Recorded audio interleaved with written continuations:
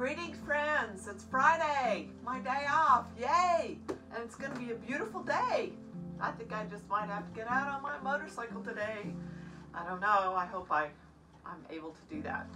Uh, it is the 25th of September, and I'm going to read the epilogue to this beautiful book, Walking a Literary Labyrinth, that we have been reading for the last couple weeks. And I'm going to begin today with the first verses of the Gospel of John, and a gospel that the verses that you probably probably know well. Verses 1 through 5. In the beginning was the Word, and the Word was with God, and the Word was God. The Word was with God in the beginning.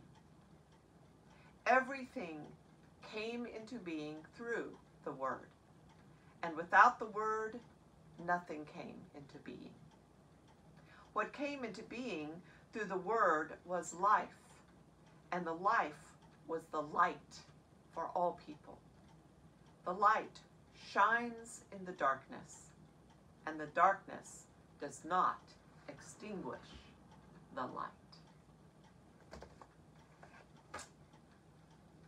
Give beauty back, an apologia.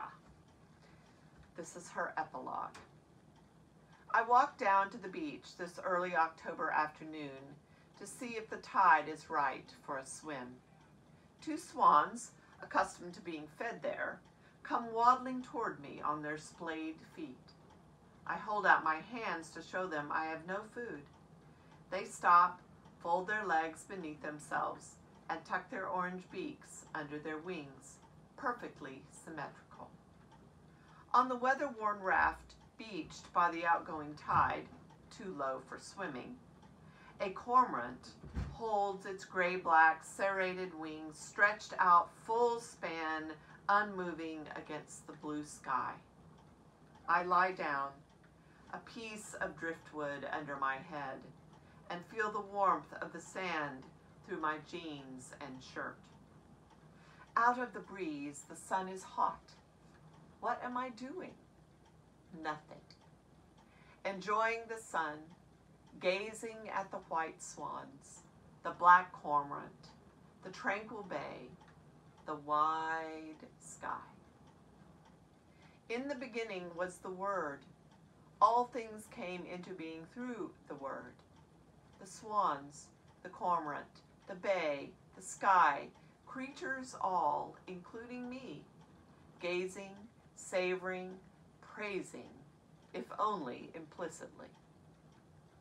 I think about reading and writing, the human words that strive to mirror all of creation, making us see what is there to be seen, and in Hopkins' phrase, giving beauty back to the Creator.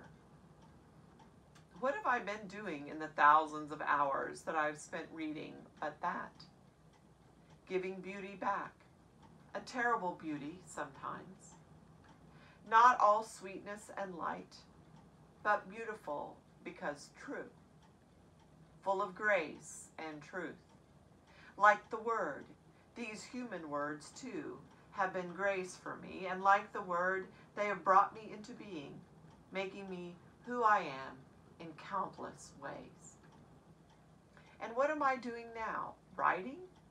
How can I justify spending all this time putting words on paper? Shouldn't I be working in a soup kitchen, dealing somehow directly with the poor, the homeless, the sick, the uneducated, the imprisoned, the issues of justice and peace? These questions haunt me. I suspect that some of my sisters working hard on the front lines as they are, have the same questions in regard to me. In my perplexity, I give myself various answers. I appeal to the doctrine of the church as the mystical body of Christ. They, all involved in these good works, are doing them on my behalf, and I am doing my work on theirs. God arranged the members in the body each one of them as God chose. As it is, there are many members, yet one body. The eye cannot say to the hand, I have no need of you, nor again the head to the feet. I have no need of you, as we find in 1 Corinthians 12, verse 20 and following. I imagine that contemplative nuns and monks might have the same questions that I do about the worth of their lives. Takes a lot of faith in a pragmatic culture like ours, and in the face of the world's ills, to do nothing but pray. It takes faith to believe in the power of the written word for good. It takes hope to hold all that a work well made is its own excuse for being all the while hoping too that those who have so much less than I find moments in which they know that life is more than mere survival, moments in which they find beauty and give beauty back to the Creator in praise and thanksgiving. In the end, it comes down to the swans, their beaks tucked beneath their wings, the cormorant, motionless, its wings outstretched who knows why? You do what you were made to do. Some of us were made to read and write. Thanks be to God. I agree. A lot of my life has been made around reading and writing and preaching and speaking and teaching and all those things that go with it. I too must say, along with her, thanks be to God. Let us pray.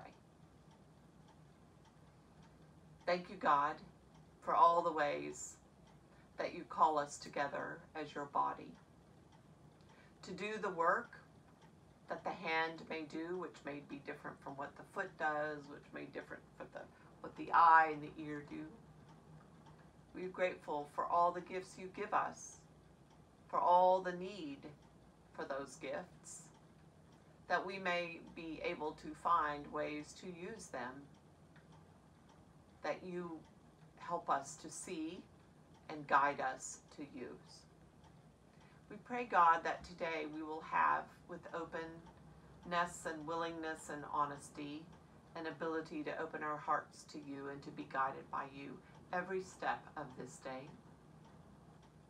We pray too for all those who are asking for you to be with them where they are in hospital rooms, in nursing home rooms, in school rooms, on school buses, walking the sidewalk, going to the store, all places that we pray you will keep us safe. We pray for the rhetoric that is being tossed to and fro in this neurotic culture that we are finding ourselves. We pray that we will take a higher road, your road, gracious God, your road of love and grace in the midst of turmoil. We pray too today that we will remember how to go lie on the beach in the sand in our t-shirt and jeans and feel the warmth and hear the waves and see the birds fly and wonder about their wingspan and why. We pray before it turns cold that we will take in these beautiful sights that we have right in our backyard. That we will not forget that you are also in the details of this creation. A little green bug, a gray um, heron that may have wingspan that looks like a pterodactyl, in the honk of the geese, in the beauty of the flowers blooming, in the changing colors of the leaves. We pray, gracious God, that we will pay attention to some of those details and be fully in the present moment with you. Not worrying about the future, not lamenting the past, but being here. Because you will get us through each moment if we are truly here with you. We know that Jesus taught us how to do that, how to do that with courage and love. And we pray that we will be guided by his presence. We pray it in the name in his name and we pray the prayer that he taught us. Our Father, who art in heaven, hallowed be thy name. Thy kingdom come, thy will be done, on earth as it is in heaven. Give us this day our daily bread, and forgive us our debts, as we forgive our debtors. And lead us not into temptation, but deliver us from evil. For thine is the kingdom, and the power, and the glory forever. Amen. Enjoy this day. It might be one of the warmest that we have for a while. I hope you will go out and soak up some of the sun.